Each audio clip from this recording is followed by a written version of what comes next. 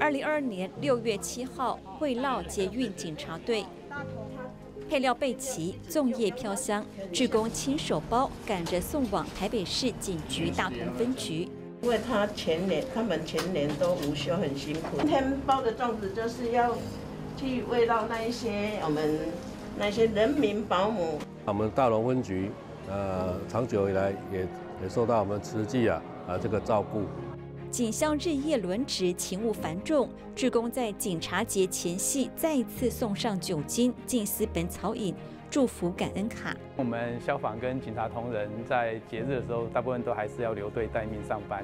那非常感谢，让我们有那个在外游子有这个过节的心情，非常感谢。每一年都有一群人来提醒你，你的节日到了，好，在警察节的前夕，然后没有一次忘记。疫情严峻期，此季从四月起连续三个月都前往捷运警察队关怀，更年年在警察节前送上关怀，让第一线忙碌执勤的警消有志工做后盾。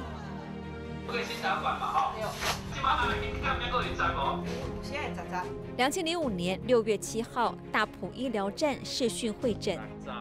透过网络科技，大埔医疗站与大林慈济医院启动远距医疗视讯会诊。阿妈不需奔波六十公里到嘉义大林，就能医治心脏的问题。减少阮的时间啊，对哇，啊，阮算讲遮较方便啊。哦，对阮遮算讲老人，至少附近老人较有一寡保障。从两千零二年开始，大林慈济医院二十四小时派驻医师。这次透过科技，更进一步守护大埔乡民健康。视讯的方式，特别是通过我们在大埔的医护同仁提供我们需要的这个资讯，那我们可以调整他的药物。一九九二年六月七号，慈济阿根廷联络处成立。成立茶会在中观寺举行，是侨界的一大盛事。主持赵定法师一直在等待姻缘的到来。赵定法师在还没有出家以前，他就是我们高雄委员，然后他也是我们的龙董。